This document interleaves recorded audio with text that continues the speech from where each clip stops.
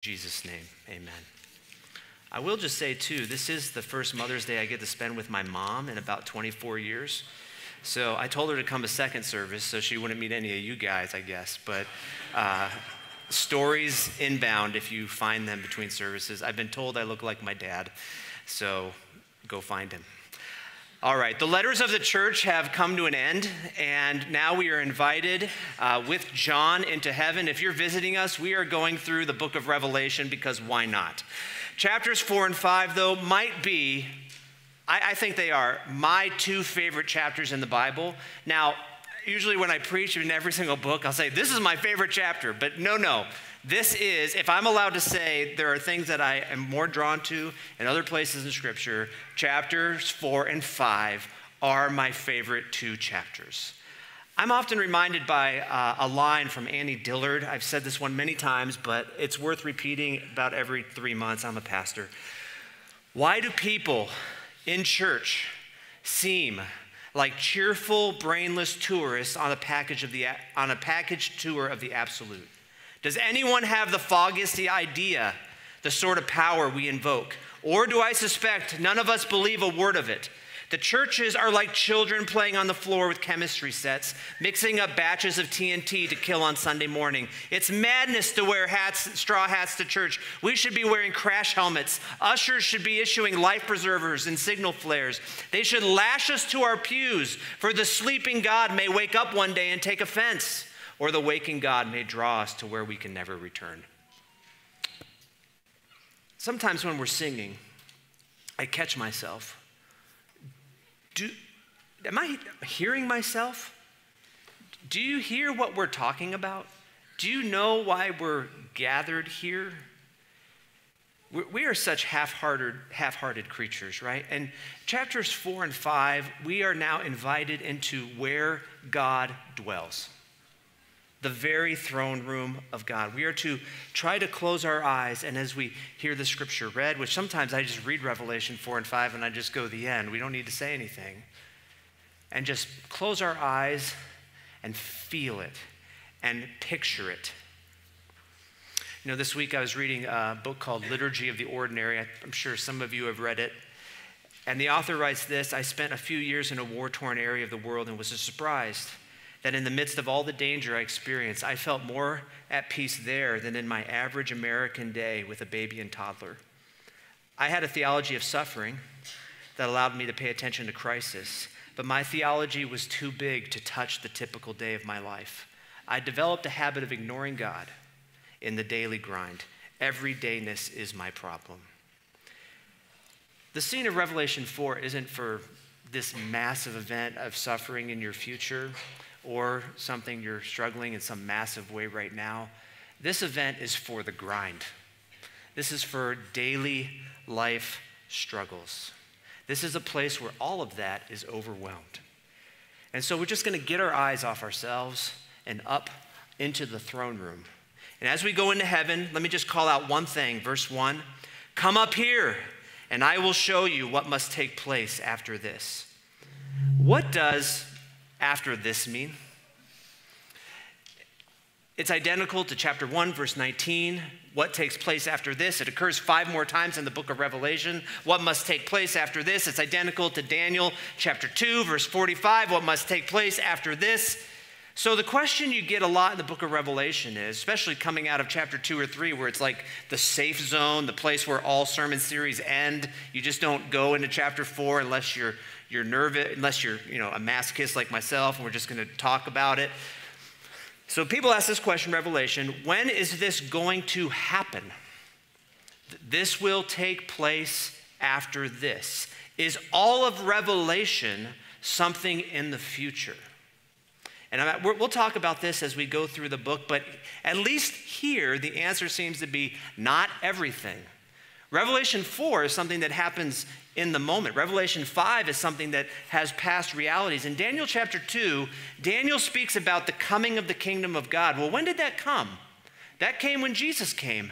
And so the book of Revelation seems to be about the time when Jesus left until the time he comes back. And so as you read Revelation, what do you get? You get some things have happened in the book of Revelation, some things are happening to the people in the book of Revelation that John is writing to. And yes, there are things in the future in the book of Revelation. It's a mixed bag. And even if you, and many Christians do this, they read it as a future manual of the future, and, and that's great. It's, great. it's a fair interpretation, but it only has to be future to the people who actually got the book. It doesn't have to be future to us. All right, that's the excursus. Now into heaven. Here we go. After this, I looked, and there before me was a door standing open in heaven. And the voice I had first heard speaking to me like a trumpet said, Come up here and I will show you what must take place after this. Who is that speaking? Well, in chapter 1, Jesus appears to John, and he appears as someone who speaks like a trumpet. And here's what it says in Revelation chapter 1 On the Lord's day, I was in the Spirit, and I heard a voice like a trumpet behind me. And then, this is what he looks like I turned around to see the voice that was speaking to me, and when I turned, I saw seven lampstands, and among the lampstands there was a Son of Man, dressed in a robe reaching, from he- reaching down to his feet, and a golden sash from his chest. The hair on his head was, was as white as wool, as white as snow, and his eyes were like blazing fire. His feet were like a bronze glowing in a furnace. His voice was like the sound of rushing water. Coming out of his mouth was a sharp, two edged sword. His face was like the sun, shining in all its brilliance. And so that person who has been speaking for chapters two and three, and whom John fell down and worshiped in chapter one, now tells John, Come up here, John, and I will show you what must take place after this. Now, I want you by the end of today, I, I, just want these two chapters to shape your life more than any of the chapters in the book of Revelation. When I taught the Bible uh, to students, I made them memorize this. And I even offered them a grade, an entire grade bump if they got the whole thing. And even 20 years later now, they still recite it to me. Man, I've been teaching a long time. Uh, they still recite it to me 10 years later, 15 years later, 20 years later. The rest of the book is going to be heavily symbolic and it's going to be challenging at times. But the reason we need symbols is because there are things that we just cannot say with our words. Just imagine for a second you're a missionary in the Amazon. And they don't have a written language, you've never heard the language, so you're learning the language, and you now have to describe a car, uh, airplane, electricity, Amazon, uh, packages, delivery systems, mail, insulation, snow. How are you going to do that?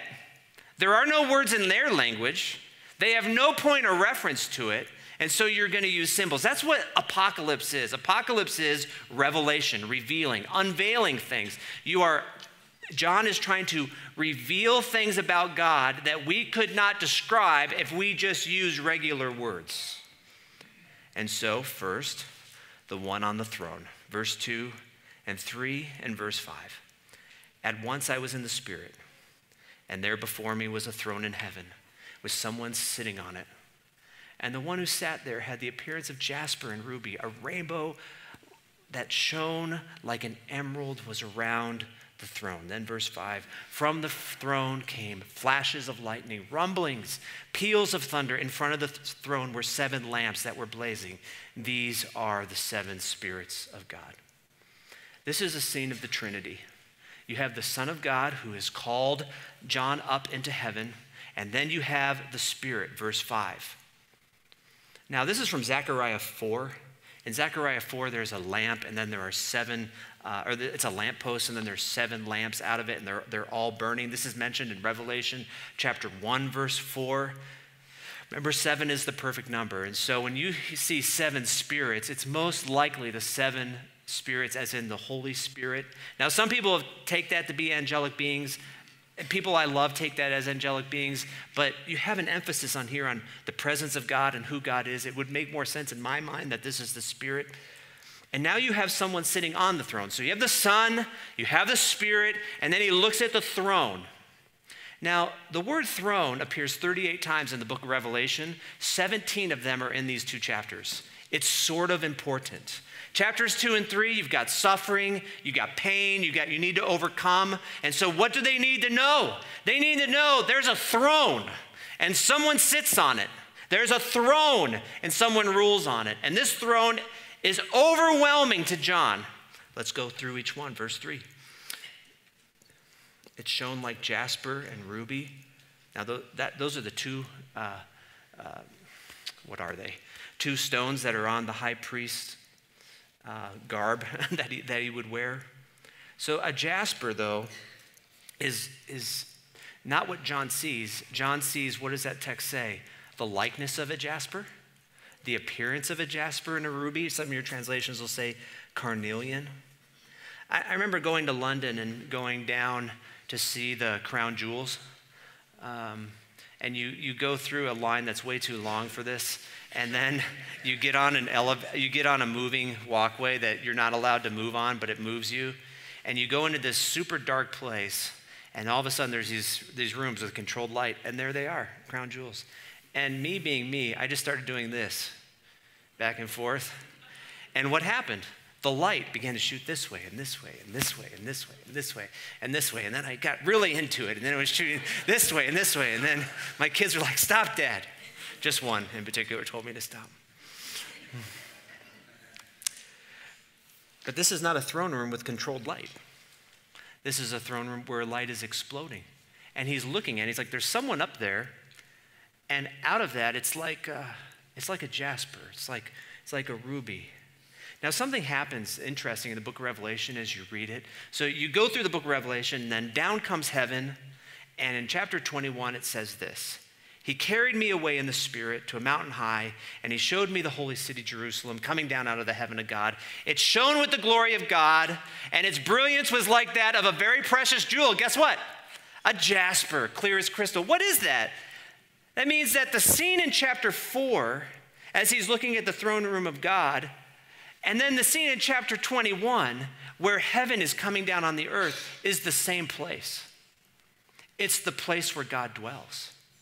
That's heaven.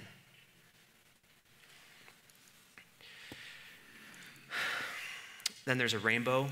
It looks like an emerald. We know in Scripture from Noah what, what do rainbows represent? Mercy and judgment. It comes out of Ezekiel chapter 1 as well. Let me read you Ezekiel.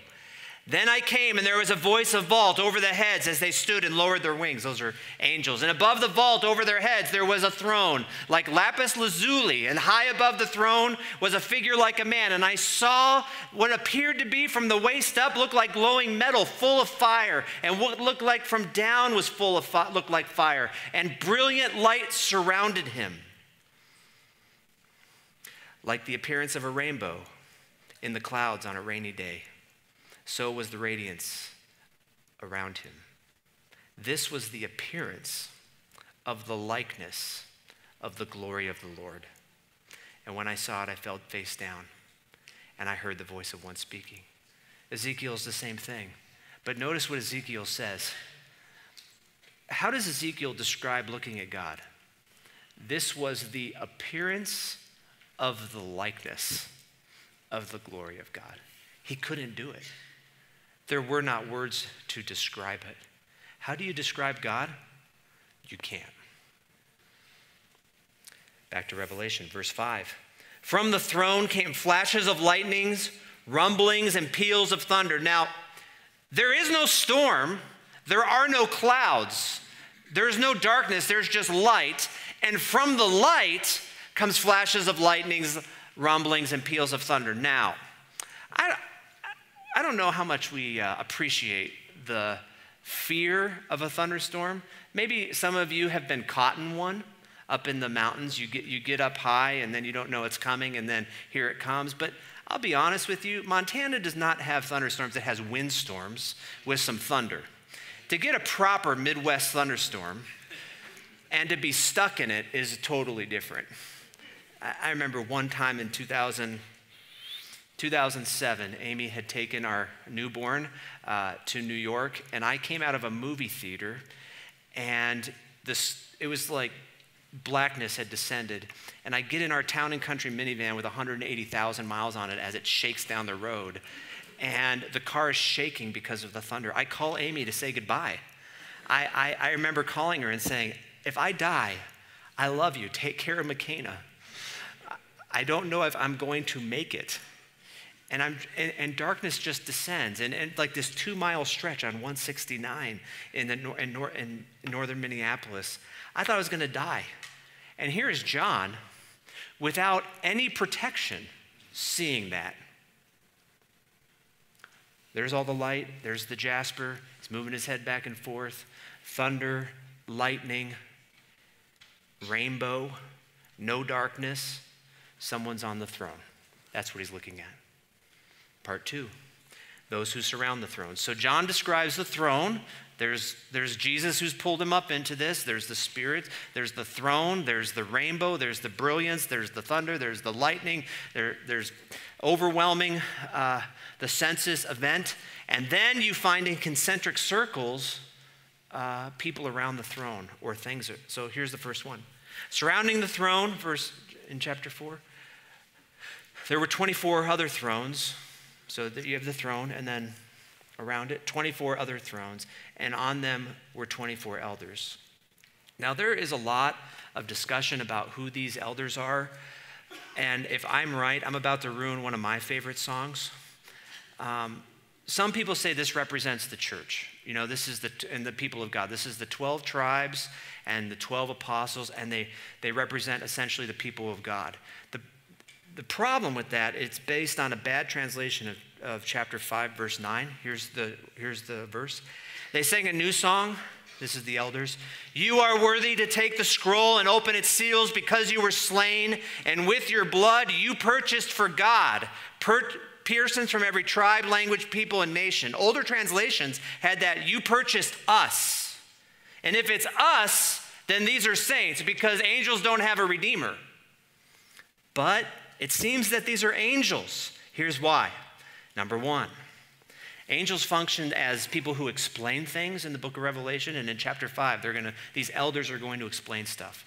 Number two, in chapter 5, verse 8, they take the prayers of the saints and offer them to God. Here's verse 8. When he had taken it, the four living creatures, the 24 elders, fell down at the Lamb, each one with a harp, and they were holding golden bowls full of incense, which is the prayers of God's people. So, they don't seem to be God's people, they seem to be angels that offer up things to, to God. In chapter 14, verse 3, Christians are uh, singing a new song, and that new song cannot be sung by the elders. Here's 14, verse 3. They sang a new song before the throne and before the four living creatures and the elders. See how they're different?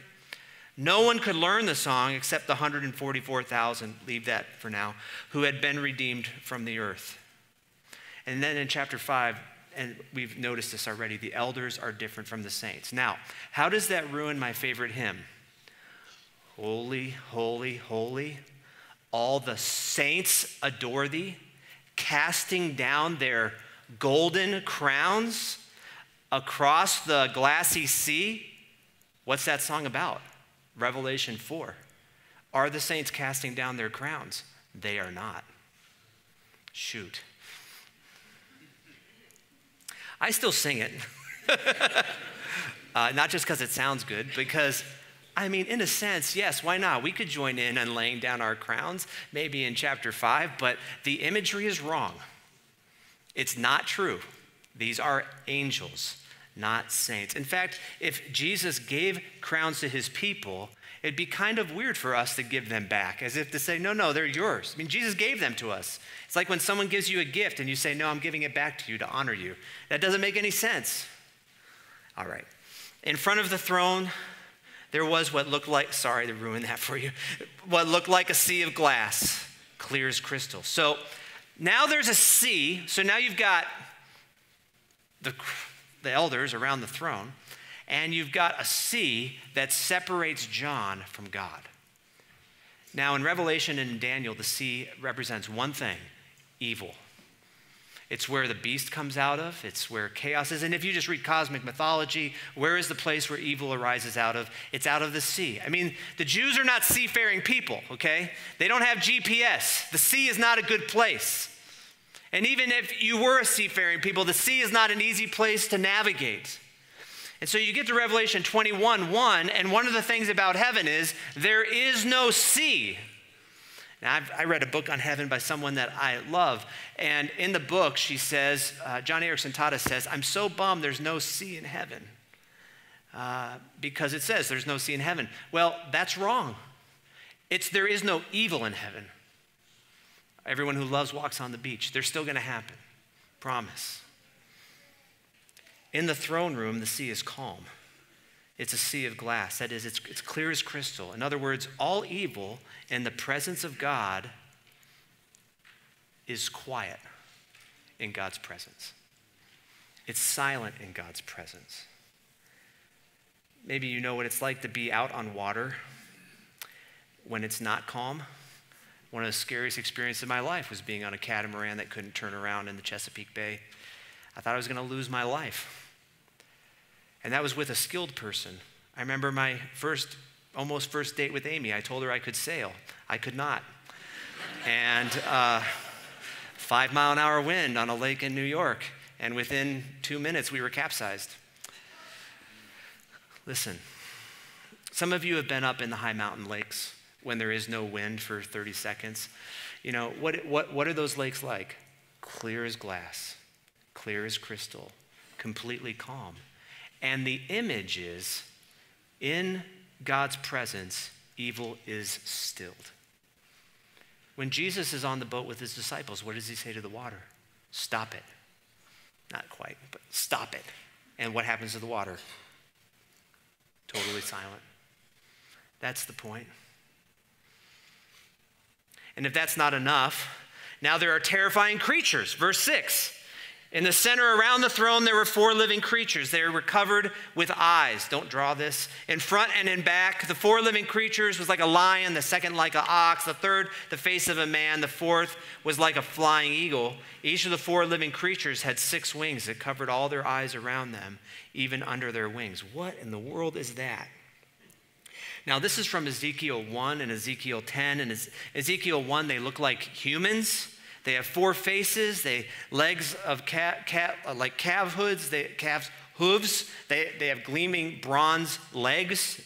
And each side is a human being, a lion, an ox, and an eagle. Here it is out of Ezekiel. Their faces looked like this, verse chapter 1 verse 10. Each of the four had a face of a human being. On the right side, they had the face of a lion, the left an ox, each had the face of an eagle. So there it is again. Human, lion, ox, eagle. What, what are they doing and who are they? It seems that these living creatures probably represent all of the created orders. So you have the lion, the king of all wild beasts. You have the ox, the king and the strongest of all domesticated animals. You have the eagle, the, the strongest of all uh, flying animals. I mean, listen, wh- why do we have the eagle is in the United States and Canada has the badger. Like, which one invokes fear? You see that? Like, eagles on, on purpose, and then the human, the head of all creation. Now, this is from Isaiah 6, where they had wings to cover them. They, they covered their face in Isaiah 6. Not even angels could look at them. They had two wings to cover them in modesty, and two wings to fly to execute God's judgment. You're not supposed to draw this. This is a this is symbolic language of trying to capture what it's like to be in God's presence with all the created order around him and the 24 elders around him and then the sea of glass around him. Now what? What do they do? Verse 8 they sing. Day and night, they never stop saying, Holy, holy, holy is the Lord God Almighty who was and is and is to come. What's the natural heavenly response to being in God's presence? What is the thing that they do over and over and over again? They sing. You know, some people don't like repetitive songs uh, in churches. Listen, you're not going to like heaven if you don't like repetitive songs. This is a song that never ends, it just goes on and on, my friends.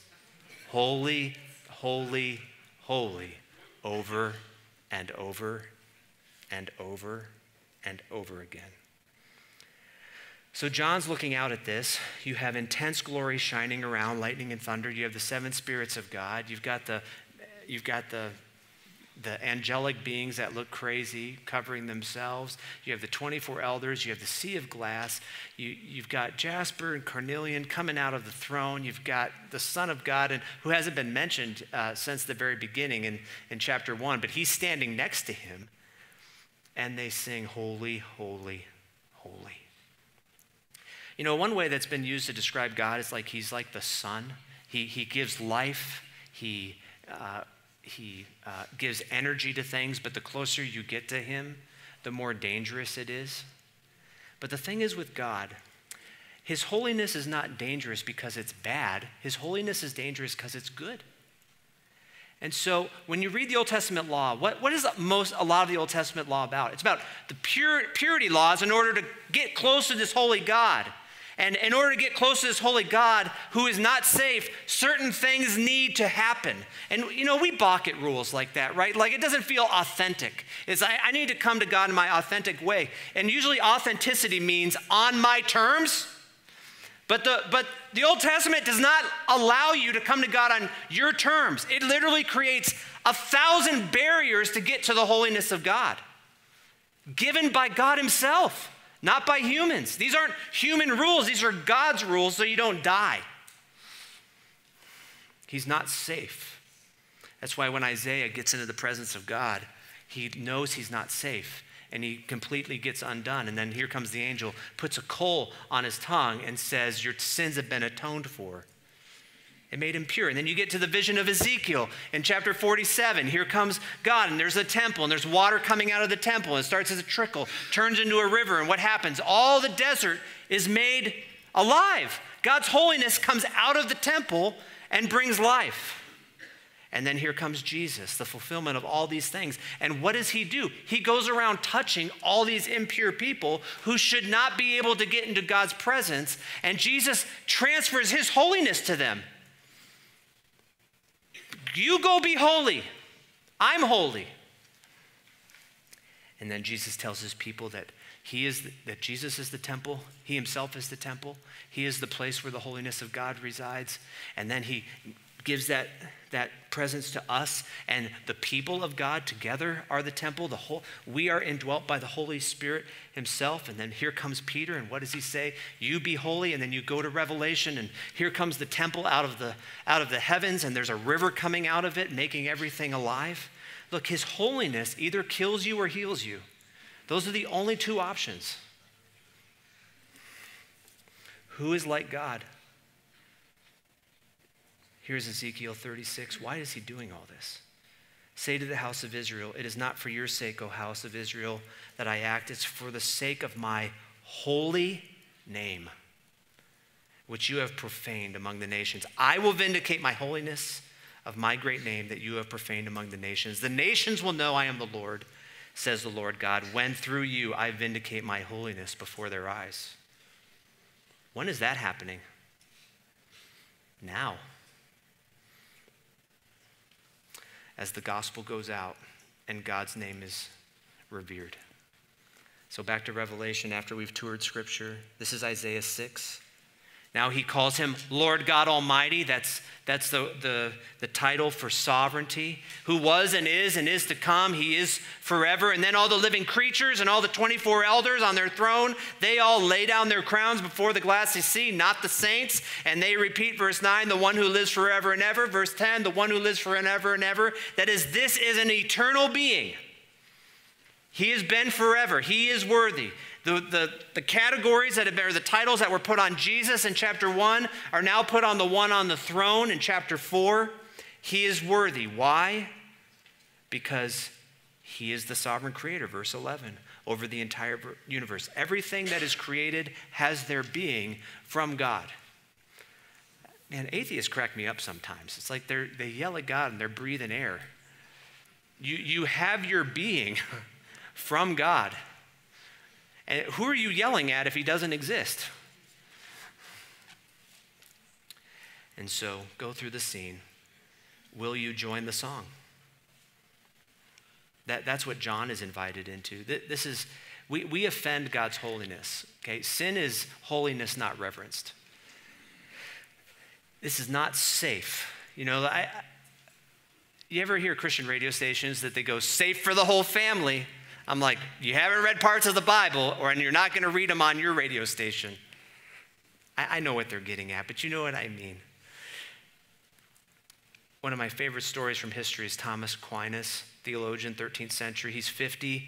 He's written prolifically, working on his magnum opus. I mean, this is the guy who wrote seven books at the same time and have a scribe, and he would just bounce between books and have people writing them.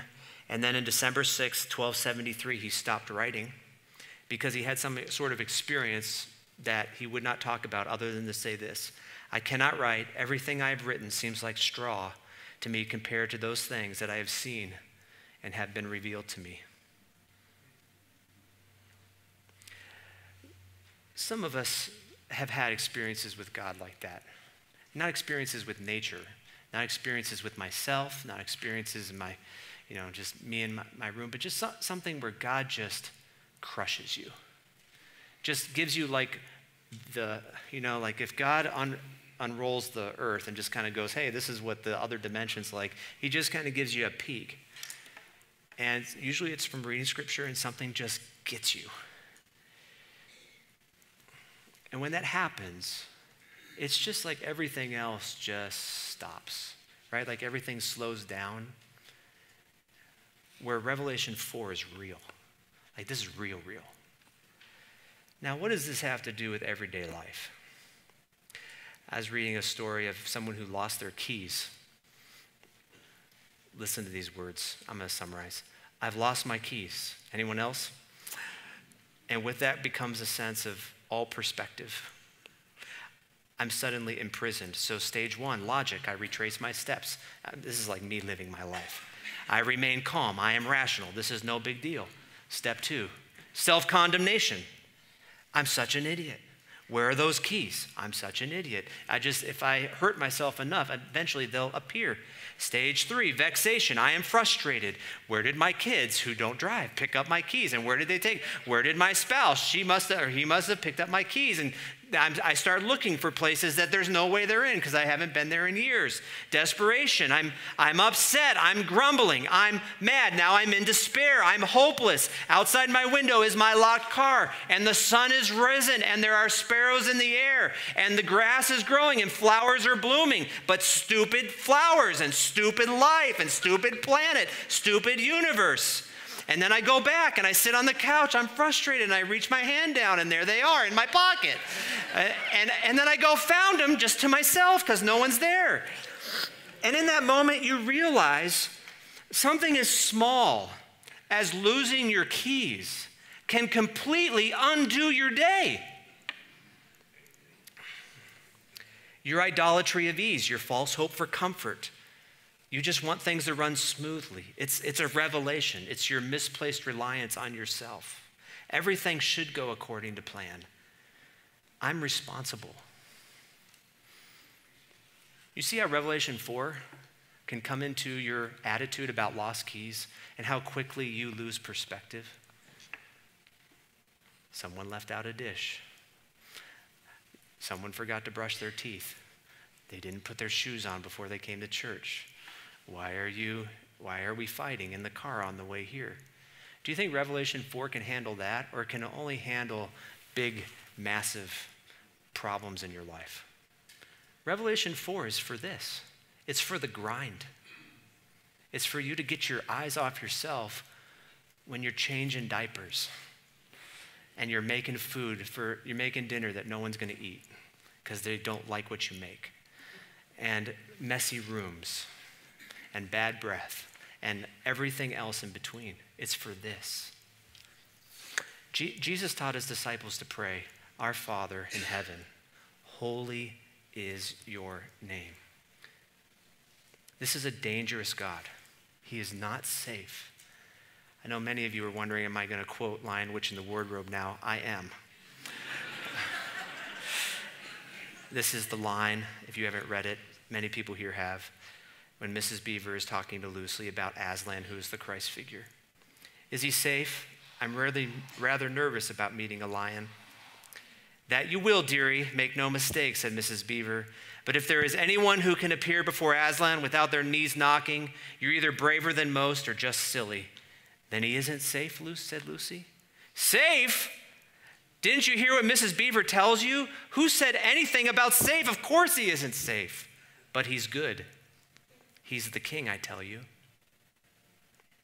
Let's not be a church of brainless, cheerful tourists on a package tour of the absolute. Let's be careful with our words. Let's, he has given us a way to approach him in his holiness and be healed. That's what the death of Christ offers you. He offers to touch you and make you holy. That's what Jesus does. So that when you come into the throne room, you're overwhelmed in your senses, but you're not overwhelmed because you're impure. You've been made pure by Christ. Amen. Amen. I love Revelation 4. Let's pray. Lord, may Revelation 4 be healing for everyone in this room.